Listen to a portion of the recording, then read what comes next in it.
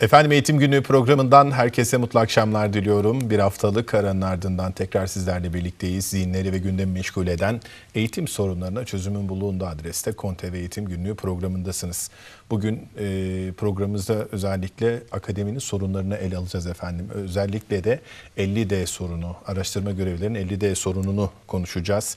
Ve e, akademik yükselmelerdeki yaşanan sıkıntıları yine ele alacağız ve e, yüksek öğretim reformuyla ilgili e, Sayın Konuğumun söyleyeceği şeyler olacak. Ve geçtiğimiz günlerde yaptığı Çalıştay, Eğitim Birsen Üniversite Çalıştay'ı hakkında bilgi alacağız. Ve özelde de akademinin kronikleşmiş sorunlarını konuşacağız. Kiminle konuşacağız? Eğitim Birsen Konya Üniversiteler Şube Başkanı Sayın Şenol Metin. Sayın Metin hoş geldiniz. Hoş bulduk. Böyle bir şans verdiğiniz için teşekkür ediyorum. Kon TV ailesine, Konyalılara ve hususen de size şükranlarımı sunuyorum. Teşekkürler, sağ olun. Eyvallah, çok teşekkürler. Sayın Metin, e, program başlığını atarken özellikle bilim insanını imha mekanizması olarak 50D araştırma görevliliği diye attık. İlginç bir başlık oldu açıkçası. E, evet, e, akademinin kronikleşmiş pek çok sorunu var. Özellikle son günlerde siz 50 D araştırma görevlileriyle ilgili e, sorunları çok e, defa değişik mecralarda gerek sosyal medyanızda gerekse de verdiğiniz mülakatlarda e, değiniyorsunuz ve yine diğer e, sorunlar özellikle e, Deutsche Welle'ye üniversiteler akademik vesayet altında mı diye Gülsen Soleker'le yaptığınız bir mülakat vardı. Yine Independent'ta e, Ali Kemal Erdem'le her yer açılan üniversiteler kentlerin geleneksel kimliğini bozuyor adı altındaki o mülakatta da yine görüşlerinizi belirttiniz e, üniversitenin sorunlarına yakından ilgileniyorsunuz. Akademinin, idari personelin ve akademik personelin. E, dilerseniz bu bölümü biraz daha 50D araştırma görevlilerine e, ayıralım. Neden 50D araştırma görevlilerini bu kadar önemsediniz ve 50D akademik e, araştırma görevlileri görev tanımı nedir? Neden bu e, özellikle kadro sorun üretiyor eğer sorun üretiyorsa? Akademinin bu anlamdaki sorunu nedir efendim? Öncelikle e, eğitim bir sen olarak e, üniversite şubesinin başkanı olaraktan oradaki örgütlü yapının e, başındaki sorumluluk üstlenmiş bir kimlik olaraktan şunu ifade etmek lazım. Eğitim versen toplumsal vicdanın makes bulduğu bir mekanizmadır. Eğitim bilirsen ortak aklın tecessüm ettiği, ortak aklın ortaya çıktığı bir mekandır, mekanizmadır. Ee, ve bu gayretimiz de hiç bitmeyecek, sonsuza kadar devam edecek. Türkiye'nin e, e, orta gelir tuzağından çıkabilmesi açısından da üniversitenin rolünü biliyoruz. İnovatif, kreatif beyinleri yetiştiremediğimiz takdirde Türkiye'nin orta gelir tuzağından çıkamayacağını da biliyoruz. O zaman üniversitelere kafa yormalarımız gerekiyor. Burada e, uzun uzun e, çalıştaylarda konuyu masaya yatırdığımızda en büyük yara alanın 50D araştırma görevlileri dediğimiz 50D statüsünde görev yapan 50 araştırma görevlilerimizin e, statülerinde konu düğümlendi. Öncelikle e, izleyicilerimiz için 50D'nin ne olduğunu evet. ifade etmek lazım. Hep konuşuyoruz. 50D 2547 sayılı Yüksek Öğretim Temel Kanunu'nun bir maddesi. Yalnızca 50. maddesinin bir fıkrası, D fıkrası şeklinde. Burada e, maksat e, düzenlenirken e, bir bursiyer gibi mekanizma içerisinde düzenlenmiş. Oraya araştırma görevlisinin alınması, yüksek lisans ve doktora eğitiminin nihayetlenmesinde ardından da kadro ile ilişkinin kesilmesi üzerine kurgulanmış bir yapı. Ancak daha sonraki süreç içerisinde istisnai olarak uygulanması gereken bu maddenin uygulanması e, süreç içerisinde genel bir uygulamaya dönüşmüş. Son 3 yıl içerisinde de 2018'den itibaren de bütün araştırma görevlisi İslam'ı 50D statüsünde yapılıyor. Bu şu demek. Ben Türkiye'nin en nitelikli beyinlerini, en nitelikli insan kaynağını üniversiteme transfer etmek için çaba harcarken onlara 9 yıl, 3 yılı lisans, yüksek lisans, 6 yılda doktora eğitimi olmak üzere 9 yıl emek vereceğim. 9. her yıl için ortalama 70-80 milyon civarında bir ödeme yapacağım e, ciddi bir kaynak transfer edeceğim ve Türkiye'nin en cins beyinleri, biraz önceki inovatif, kreatif beyinlerin yetiştirilmesi dediğimiz burası işte bu. Ama 9 yılın sonrasında tam hizmet alacağımda, tam laboratuvara sokacağımda, tam derse sokacağımda diyoruz ki hadi iş akdini feshettik kapının önüne diyoruz. Şimdi 22-23 yaşlarında e, lisans eğitimin tamamlandığı bir dönemde 9 yıl saydığımızda 30-35 yaşındaki bir kişiyi doktora yapmış bir kişiye hadi sen artık bize lazım değilsin demek hiçbir rasyonel aklın kabul edeceği bir şey değil. Ve tepkimiz buna zaten. Peki burada e, özellikle hani şunu vurguluyorsunuz. Yani e, yaklaşık 9 yıl boyunca akademinin tozunu yutmuş. İçerideki işleyişi bilen e, yöntemiyle, tekniğiyle kendisini ispatlamış, doktorasını yapmış. E, bir süreçten bahsediyorsunuz ama o 9 yıllık süreç eğer bu şekilde bir nihayetle son bulacak olursa ben doktora da özellikle son 2-3 yılda bir kaygılı sürecin başlayacağını düşünüyorum açıkçası. Buna ne diyeceksiniz? Çünkü bir düşünsenize doktoranızı bitirdiğinizde ilişiniz kesilecek. Doktorayı ya bitirmem ya da ne zaman bitiririm? Sağda solda kadro arayışına girer herhalde ondan sonra bitiririm. Zaten e, bu uygulamanın e, en büyük yan etkisi burada. Şimdi birincisi işe girerken, işe girerken 9 yıl sonrasında sizin iş akdinizin feshedileceğini, sözleşmenizin feshedildiğinizi bildiğinizde idealist düşünen akademisyen dışındaki akademisyen profilini bulamazsınız. Ki şu anki araştırma görevlileriniz bu idealizmin tuzağına düşmüş vaziyetteler. Ve e, nitelikli, en nitelikli insan kaynağınızı da bu şekilde devşiremezsiniz. Sağdan temin edemezsiniz. Çünkü 9 yıl sonra ne olacağı belli olmayan bir sürece kim girer ki? Ama bu insanların 50 e, de araştırma görevlilerimiz bu ülkeye olan sorumlulukları nedeniyle bunların pek çoğunun yurt dışına gitme e, imkanları da var. Başka imkanları da var. Ama gitmiyorlar. Burada kalıyorlar. Burada üretmek istiyorlar. Ve ben şunu düşünüyorum. E, bu biraz önce hiçbir rasyonel akıl bunu izah edemiyor den kastettiğim bu. Doktorasını bitirdikten sonra hazır yetiştirmişiz. Yurt dışına transfer etmek için sanki kurulmuş, Türkiye'ye kurulmuş bir tuzak olarak görüyorum ben bunu. Bu kadar netim. Şimdi bu kişi e, yani ikinci bir yan etkisi bir önceki işe girişteki o standardı düşürmesi dışındaki ikinci bir yan etkisi ne? O çok daha vahim. Şimdi biz bir an önce yüksek lisans ve doktora eğitimimizi tamamlayıp kişiyi öğretim üyesi olaraktan sahada ya da ileri ARGE mühendisi olaraktan sanayide istihdam etmemiz lazım. Bunun için yetiştiriyoruz onu. Ama ben ne yapıyorum? Ee, bir an önce şey bitirmemek için azami o öğrencilik statüsünün bütün haklarından yararlanıyorum ve iki yılda bitecek yüksek lisansı üç yıla sarkıtıyorum. Dört yılda bitecek olan doktorayı altı yıla sarkıtıyorum. Ve Türkiye kaybediyor bundan. Evet. Söylemek istediğim şey şu. Eğer biz gerçekten bu 50D ile ilgili gerçek bir kafa yormalarımız olsa Türkiye için Türkiye'nin bekası için ne hayırdır sorusuna doğru cevabı verebilsek ki doğru cevabı var bunun. Doğru cevabı verirsek bu öğrencilerimiz bir an önce yüksek lisans doktora eğitimini başlar. Belli bir süre veririz bu e, öğrencilerimize. Bu süre içerisinde postdoc yapacaksa yurt dışına gider. Türkiye'de e, yarım kalan çalışmaları varsa onu yapar. Öğretim üyesi e, İslam'ında gereken yayın gibi, proje gibi çalışmaları varsa onları yapar.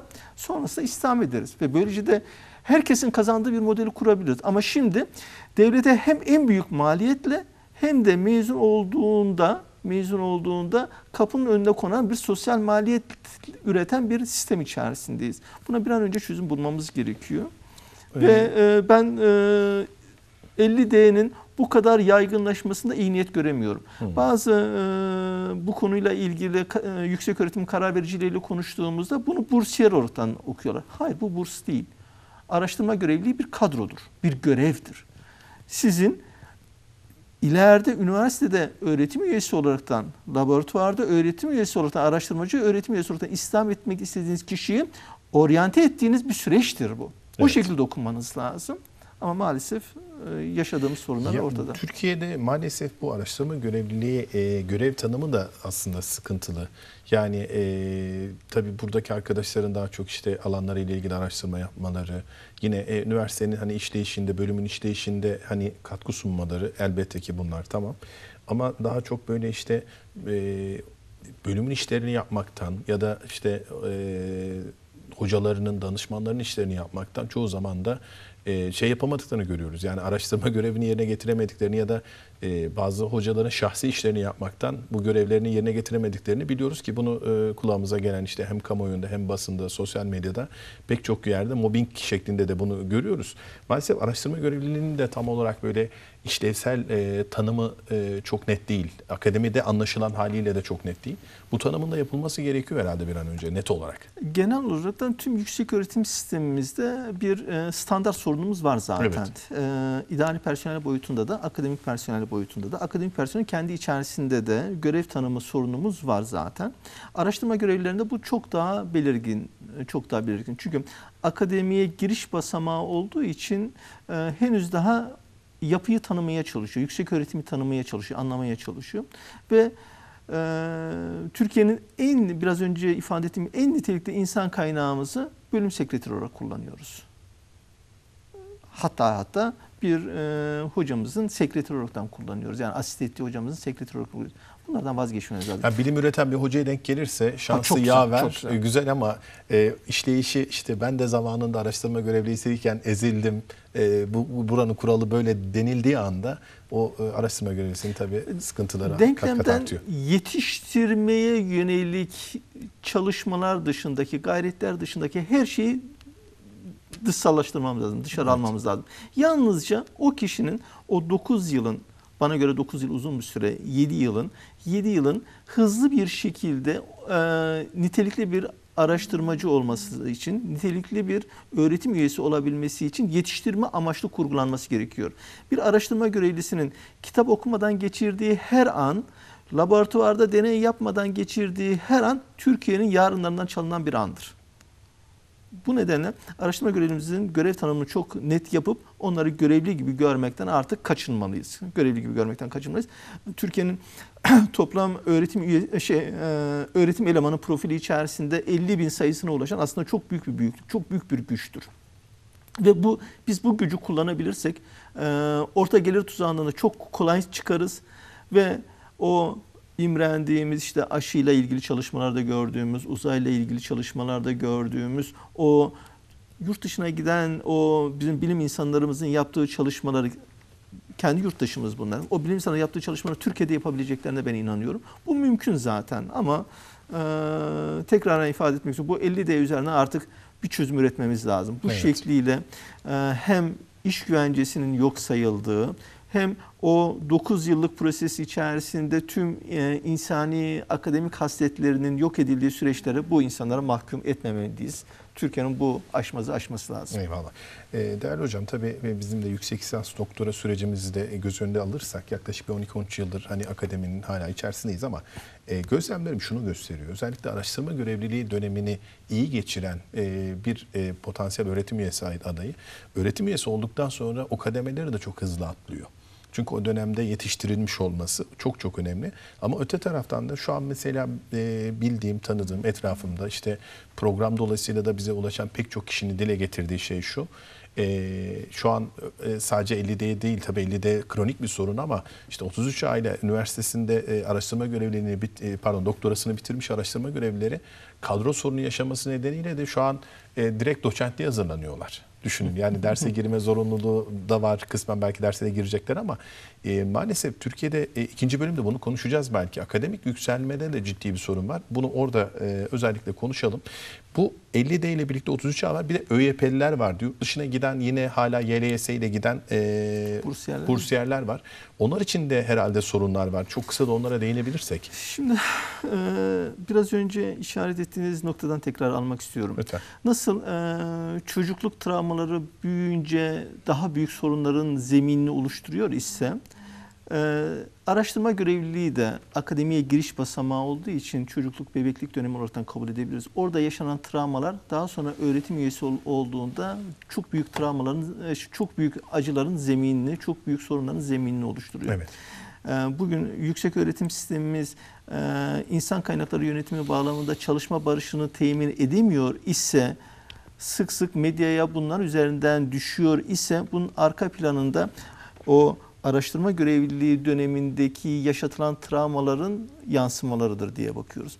Ee, Bizim 33 A Ö- ÖYP'lerimizi e, 2017 yılında çıkan bir düzenleme ile e, tamamının e, önce e, 33 aya kadrolara geçirilmesi sağlandı. İstisnalar var. Büyük kısmı geçti.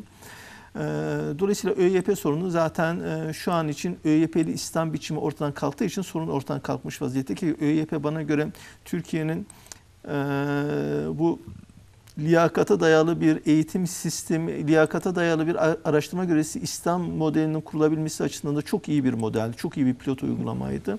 Ama Türkiye bunu devam ettiremedi. Şimdi 50'de araştırma görevlilerimiz de herkes öyle. 33 an zaten artık yavaş yavaş ortadan kalkacak. Yani biz şunu doğru bulmuyoruz. Bir araştırma görevlisinin araştırma görevliliğinden emekli olmasını doğru bulmuyoruz. Evet. Ama bir araştırma görevlilisinin de doktorasını bitirdiği gün sözleşmesinin feshedilmesini de doğru bulmuyoruz. Makul bir çerçeve var burada. Makul çerçeve şu. Araştırma görevlimiz normal eğitim süresi içerisinde hızlı bir şekilde yüksek lisans ve doktora eğitimini bitirmesini sağlaması gerekiyor. O bittikten sonrasında da iki yıl, makul bir süredir bu. İki yıl doktor araştırma görevlisi statüsünde kurumunda çalışması e, çalışmaya devam etmesi gerekiyor. Bu iki yıl içerisinde yayın eksiklerini gidererek, proje eksiklerini gidererek ve en önemlisi de yurt dışı deneyimi edinerek, en önemlisi yurt dışı deneyimi edinerek e, nitelikli bir şekilde üniversiteye, üniversitemize öğretim üyesi olarak İslam'ı sağlanmalı. E, veya sanayinin ihtiyacı olan özellikle TÜBİTAK gibi, Aselsan gibi, TAİ gibi ileri mühendislik yüksek teknolojiye dayalı alanlarda İslam'ını sağlayacağımız araştırmacı e, boyutunda da değerlendirmemiz lazım. Burada e, YÖK bünyesinde kurulan şimdi liyakat ve liyakat e, platformu dediğimiz bir çalışma var Yüksek Öğretim Kurumu bünyesinde. Bu çalışma acilen bir kariyer ofisine dönüştürülerek e, bütün e, doktorasını bitirmiş e, bilim insanlarımızın bunlar içerisinde araştırma görevlerimize dahil bunların verilerinin orada toplandığı ihtiyaç olduğunda da üniversitelerimizin öğretim üyesi ihtiyacı olduğunda bu havuzdan temin edebildikleri bir merkezi sisteme geçmek lazım. Türkiye şartları için konuştuğumuzda üniversite özellikle akademik özellikle kavramına da saygı göstererek şunu söylemek lazım. Bizim kadrolarımızın %30'unun e, şey e, yüksek öğretim kariyer ofisi üzerinden kurulacağı bir modelde %70'in ise şu anki mevcut cari usulde kullanılması halinde 50'de araştırma görevlilerimizin de hiçbir sıkıntısı kalmayacaktır. Öğretim üyesi nitelikli öğretim üyesi bulmakta zorlanan e, üniversitelerimizde hiçbir sorunu kalmayacaktır. Evet. Hocam bu arada deminden beri Twitter'da ciddi bir yoğun bir e, destek var. Çok sayıda e, 50'de mağduru diyelim. E, akademisyen adaylarımız, öğretim elemanlarımız, öğretim e, görevlerimiz e, teşekkür ediyor. E, onların teşekkürlerini size iletmiş olayım. Bu konuyu dile getirdiğiniz için çok teşekkür ederiz Konteve'ye. Size özellikle diyorlar.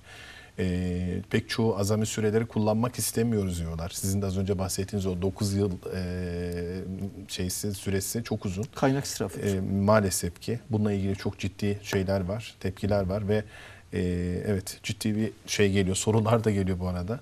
E, teşekkürler de çok fazla. E, hatta bir akademisyen e, ismiyle e, Hesap 50D kadrosundaki araştırma görevlerinin sorunlarını çözmek akademi yapılacak en iyi iyiliktir, en büyük Doğru. iyiliktir diye. Türkiye'nin Türkiye'nin evet. şu anda yüksek öğretim sorun yüksek öğretim sisteminin en önemli sorunu nedir derseniz ben şu anda 50'de ederim. 50'de. 50'de evet. ederim. Çok net bir sorun alandır. E, e, şu anda 50 bin araştırma görevlimizin süreç içerisinde totalde bizim e, Türkiye büyüklüğü içerisinde 50 bin civarında araştırma görevlisi popülasyonumuz olacak süreç. Şu anda o civarda o da devam edecek. Ve tamamı 50 değil olacaklar bunların. Burada bir çözüm üretemezsek burada nitelikli insan kaynağımızı buraya davet edemeyiz. Evet. Çalıştıkları süre içerisinde de iş güvencesi olmadığı için bütün baskılara boyun eğecektir. Dolayısıyla kişilikli bir akademisyen olamayacaklardır.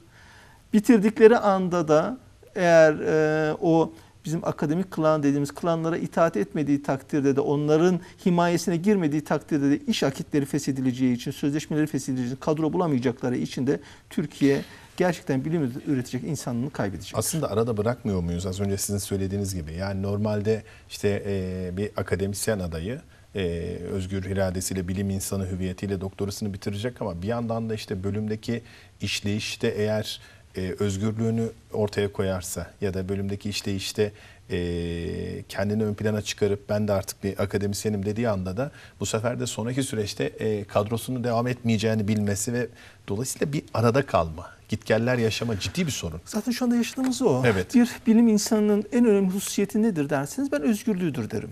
E, ardından da e, ne gereklidir? bu özgürlüğün ürettiği sağlam bir karakter, inş- şahsiyet derim.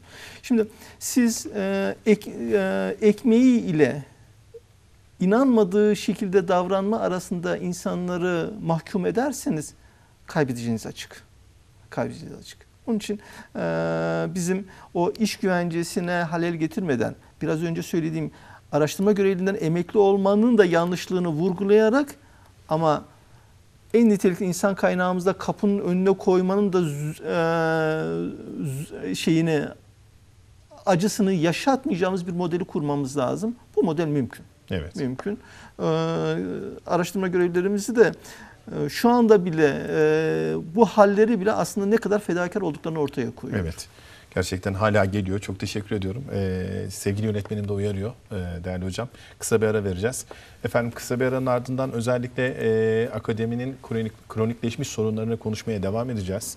E, özellikle e, yüksek öğretim reformu adına yapılan bir çalışma var. Eğitim Birsem bünyesinde ondan çok kısa bahsedeceğiz. Ve e, geçtiğimiz günlerde yapılan bir çalıştayın e, özellikle idari ve akademik personel açısından ne tür sonuçları e, çıktı onları da değerli konuma soracağım. Kısa bir aranın ardından tekrar birlikteyiz efendim.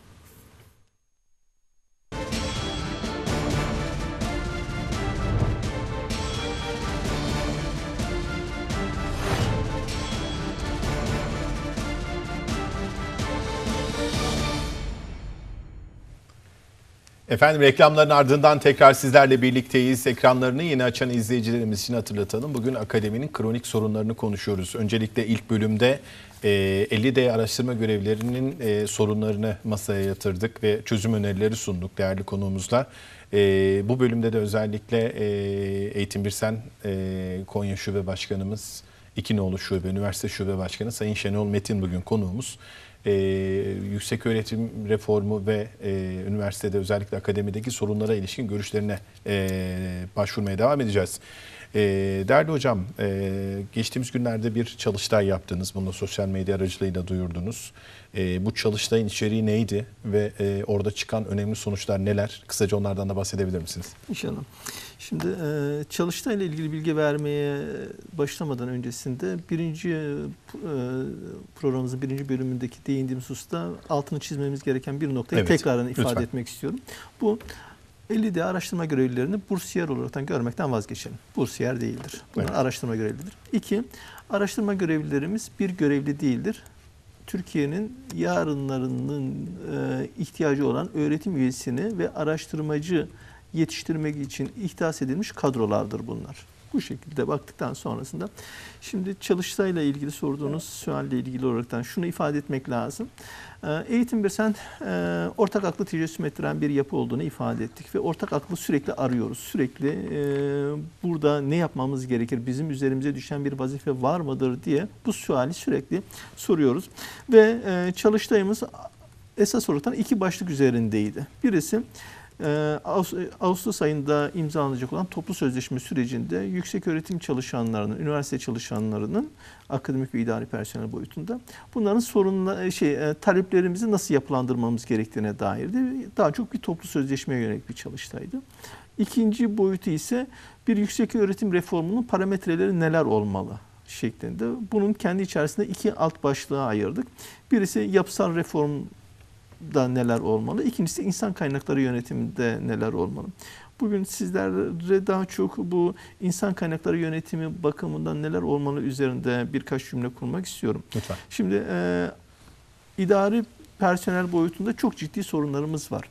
İdari personel boyutundaki bizim en önemli sorunumuz şu. Üniversite idari personeli kendisini üniversitesine ait hissetmiyor. Neden?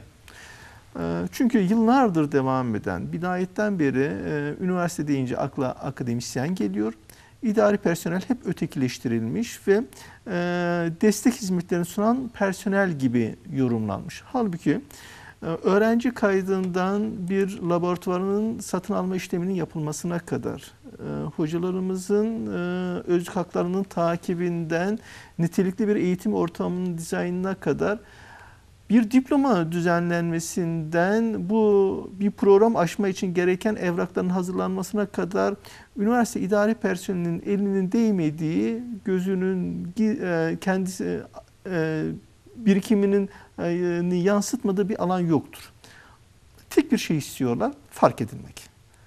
Üniversite deyince akademik personel anlaşılsın istemiyorlar. Zaten batıdaki terminoloji de böyledir. Batı e, terminolojisi üniversite personeli dediğimizde idari personel, akademik personel diye bir ayrım hissedilmez. Ama bizim 2547 biliyorsunuz 12 e, Eylül darbesinin e, ürettiği bir metindir. Ve çatışma üretmek üzere çatışmalardan da kontrol ihdas etmek üzere e, yapılmış bir metindir. Zaten değişmeyen maddesi de kalmadığı gibi e, onun topyekun bir yazıma ihtiyacı var.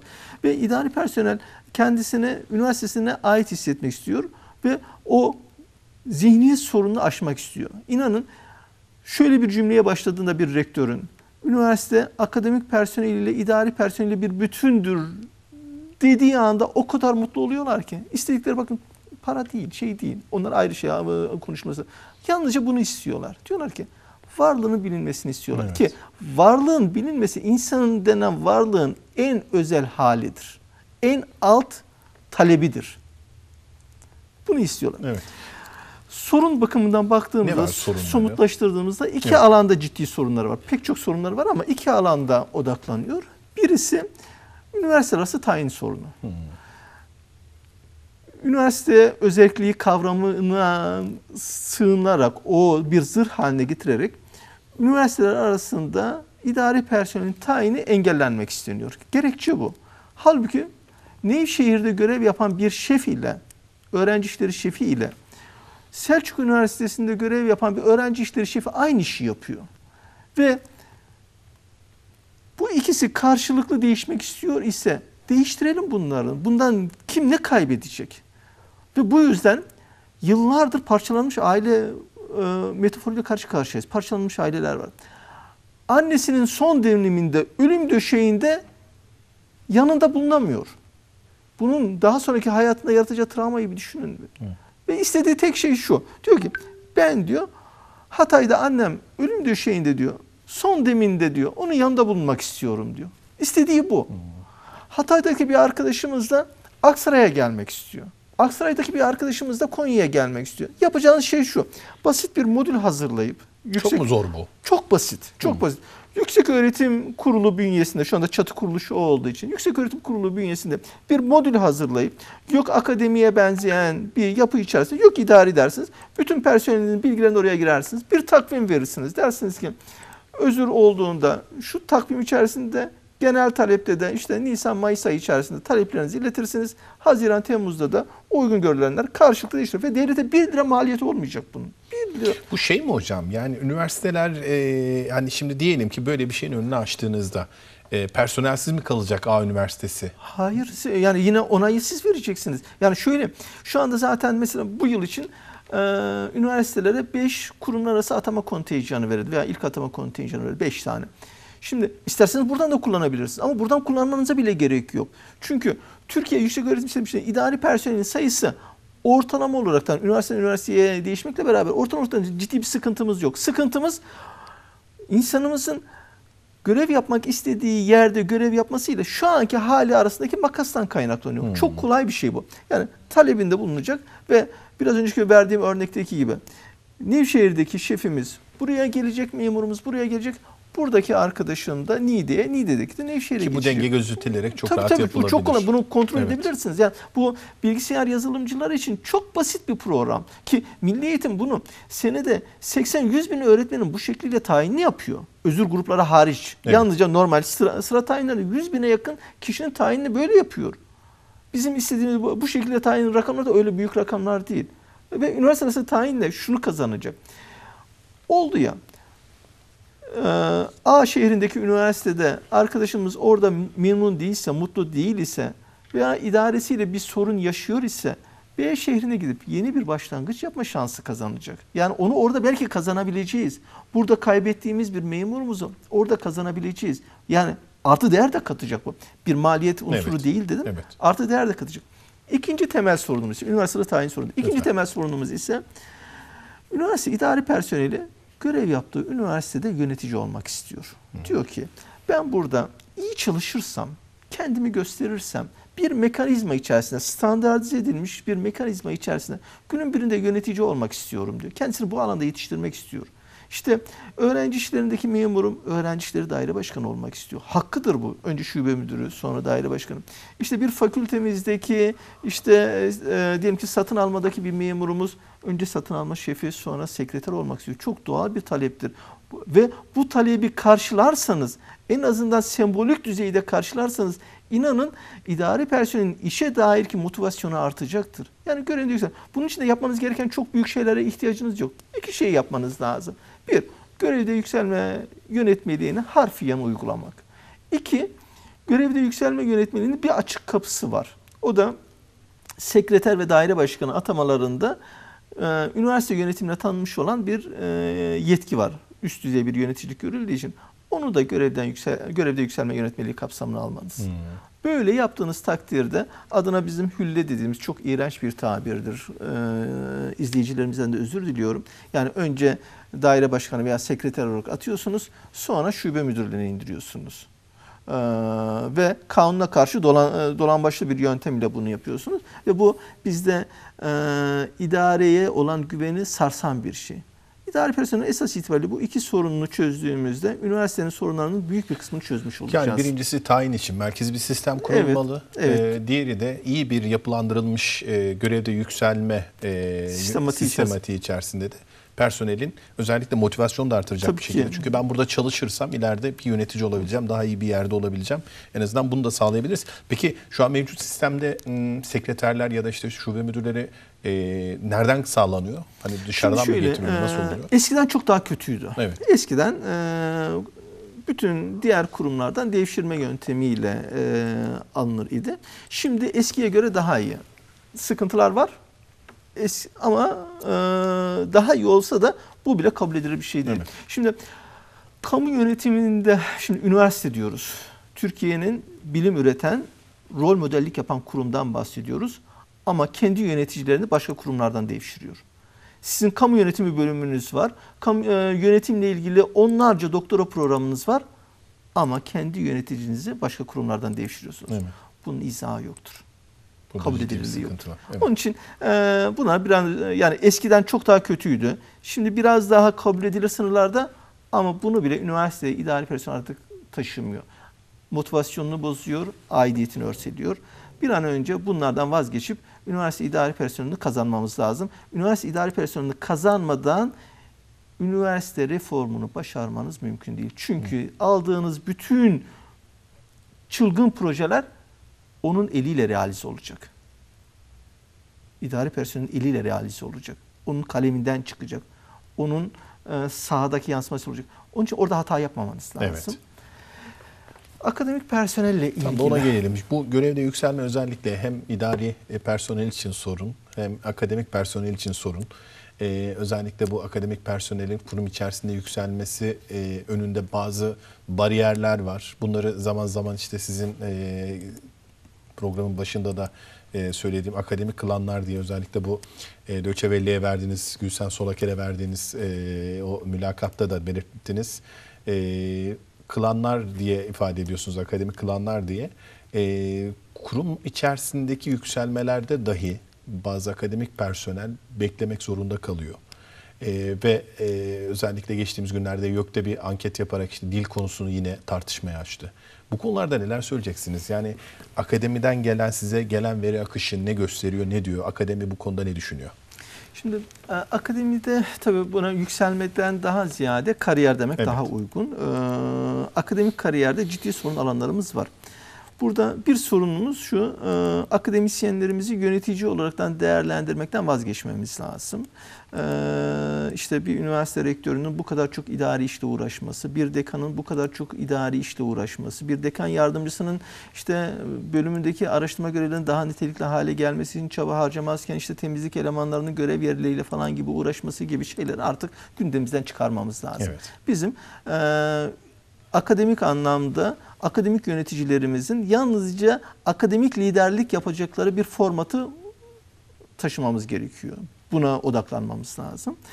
Ee, akademik kariyerle ilgili e, ciddi sorunlarımız var. Burada göreve e, göre, şey e, akademiye giriş basamağı olan araştırma görevliliğinden başlayarak öğretim üyeliği aşaması, öğretim üyeliğinin kendi içerisindeki üçlü tasnif içerisinde doktor öğretim üyesi, doçent ve profesörlük kendi içerisinde ciddi sorunları var. Burada önce araştırma görevlisinden başladığımızda Türkiye için e, araştırma görevlilerimizi ÖYP'ye benzeyen bir merkezi sistem içerisinde veya ki tıptaki uzmanlık sınavına TUS'a benzeyen e, bir merkezi sistem içerisinde kurgulamamız gerekiyor.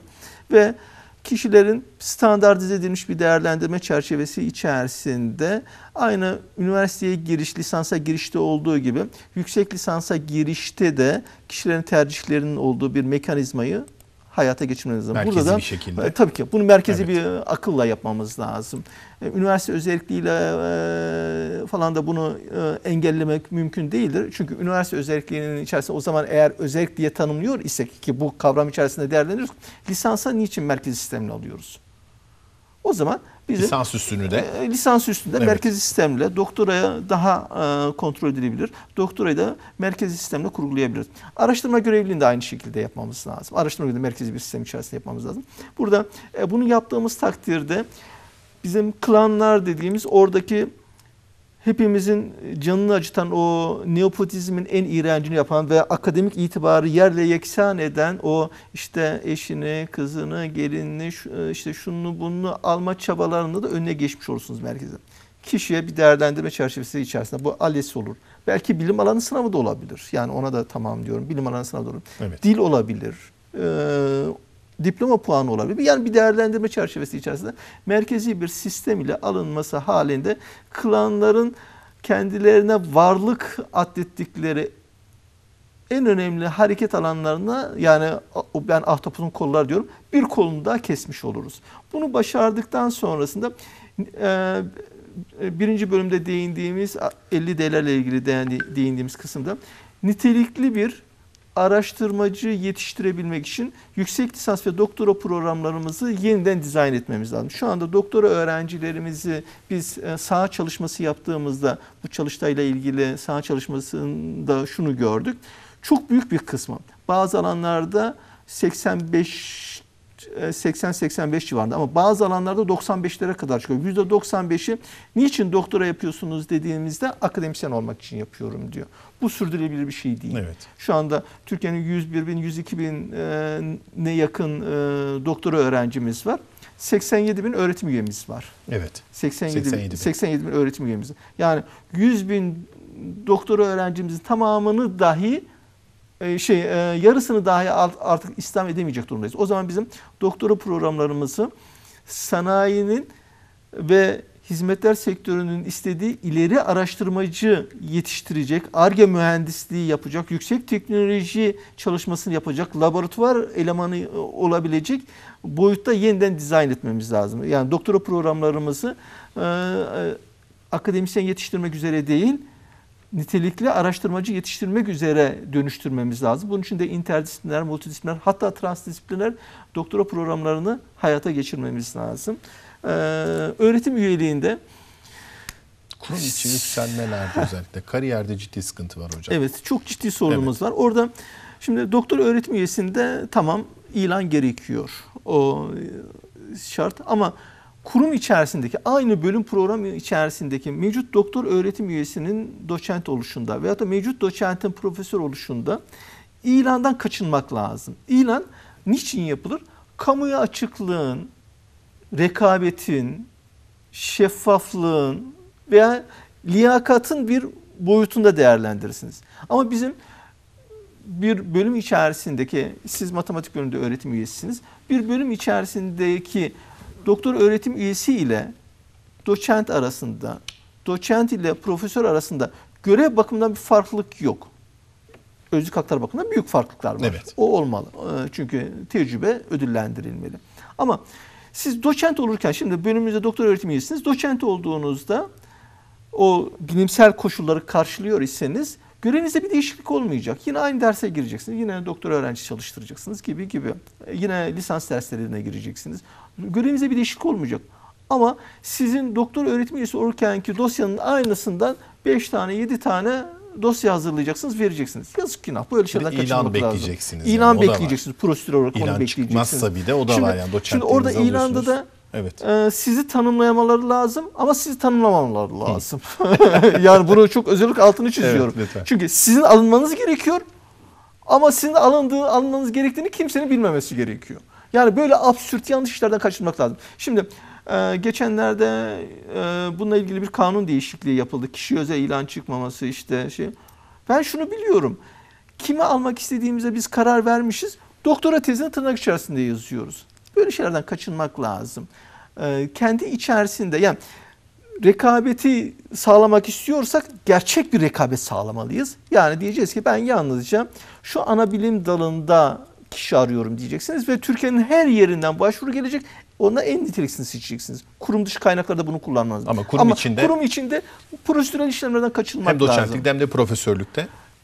E, ya doktor öğretim üyesinin doçent oluşunda, doçentimizin profesör oluşunda gerekli bilimsel kriterleri karşılaması halinde otomatikman o kadronun özlük haklarından yararlanmasın. Atama bile demiyorum bak. Evet. Onun özlük haklarından otomatik yararlanmasın. Çünkü biz e, normumuzu zaten öğretim üyesi üzerinden planlıyoruz. Evet. Öğretim üyesi üzerinden planlıyoruz. Dolayısıyla bu çok önemli. Yönetmenim uyarıyor. e, bitirelim diyor hocam. Son söyleyeceğiniz özellikle dil konusu vardı bir de. O zaman onu ekleyebilirsek. eee, burada dille ilgili de şunu söylemek lazım. Üniversitelerimiz akademik yükseltme yönetmeliklerini ağırlaştırma eğilimindeler. Evet. Bu doğru bir yaklaşım değil. Ge- Gerekiyor ise ağırlaştıralım. Ama her bölüm için, her bilim alanı için ayrı ayrı planlamak lazım. Dili de hakeza öyle. Üniversitemiz standart bir rakam belirliyor. Diyor ki ben 70 diyor, 65 diyor, 55 diyor neyse. Ee, Bunun üzerinden değil. O bilim alanının ihtiyacı olan neyse, diyelim ki edebiyatta şimdi bizim Türk Dili Edebiyatı'nda Portekizce geçerli. Kardeşim Türk Dili Edebiyatı bölümünde Portekizce ile ilgili hiçbir yayınımız yok. Niçin zorluyoruz bunu? Ona diyelim ki Arapça, Farsça eğer sunum istiyorsanız uluslararası sunum İngilizce diyelim. Tamam anlarım bunu. Her bir alanı niye istiyoruz? biz? Okuma anlama için mi istiyoruz yoksa sunum yapması için mi? Speaking. Yoksa mesela şey Boğaziçi Üniversitesi şey Galatasaray Üniversitesi için yapılmıştı. Hukuk Fakültesi uluslararası e, müzakereci yetiştirmek için. O zaman da konuşma yeterlilikleri üzerine odaklanmamız Evet. lazım gibi gibi. Yani dili de artık böyle genel e, geçer uygulamalardan kaçınıp o bilim alanının ihtiyaçlarına uygun şekilde dizayn etmemiz gerekiyor. E, hocam çok teşekkür ediyoruz. Doçentlik söz sınavını kaldıralım. E, o mesajı da verdik. Özellikle Türkiye'de zaten herhalde 17-18 18 üniversite kaldı. kaldı. 18, üniversite kaldı. kaldı. Necmettin Erbakan Üniversitemizde Konya Teknik Üniversitemiz kaldı Konya'mızdan. Selçuk Üniversitesi kaldırdı. Evet. 18 üniversite kaldı. Bu da vesayet üreten bir araçtı. Hele şimdiki anlamsız bir süreç. Artık bu iki üniversitemizde diğer 16 üniversiteye de rol model olacaklarını ümit ediyorum. Kaldıralım artık. Evet, doçentlik sözlü sınavı da kaldırılsın dedi Şenol Metin. Efendim bugün Eğitim Birsen Konya Üniversiteler Şube Başkanı Sayın Şenol Metin'i ağırladık. Ee, özellikle e, bilim insanı imha mekanizması olarak 50'de araştırma görevliliği dedi. İlk bölümde özellikle araştırma görevliliğinin görev tanımını ve yaşadığı sorunları ifade etti. İkinci bölümde de bugün akademik e, camianın, akademinin sorunlarını konuştuk. Haftaya değişik konu başlıklarıyla karşınızda olmak üzere diyorum efendim. Mutlu akşamlar, mutlu hafta sonları.